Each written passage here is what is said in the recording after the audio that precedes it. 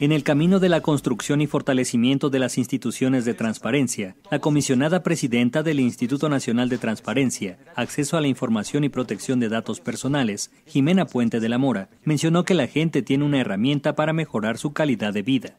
Recordemos que los tres grandes rubros, y esto es algo que debemos de destacar, es seguridad social, educación y salud.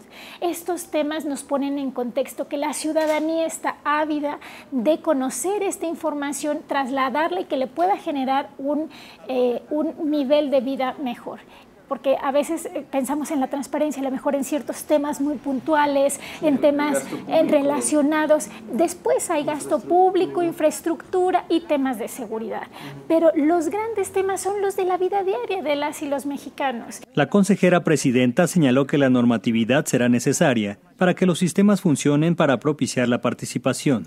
Yo creo que estamos eh, construyendo ese camino, ese camino que está ya significando una diferencia para las y los mexicanos, un camino que se irá fortaleciendo a través de esta etapa. Ya tenemos un desarrollo normativo, eh, estamos fortaleciendo la incorporación de estos nuevos sujetos obligados, la eh, conciencia ciudadana tan importante para el ejercicio de este derecho, porque finalmente si está todo, todo el andamiaje normativo e institucional, el siguiente paso necesariamente necesariamente es que la ciudadanía eh, recurra y ejerza estos, estos derechos eh, y también pues haciendo una, eh, una labor con todos los funcionarios públicos ante esta nueva realidad. Con información de Juan Carlos Villarruel e imágenes de Enrique Rivera y Pedro Rodríguez, Notimex.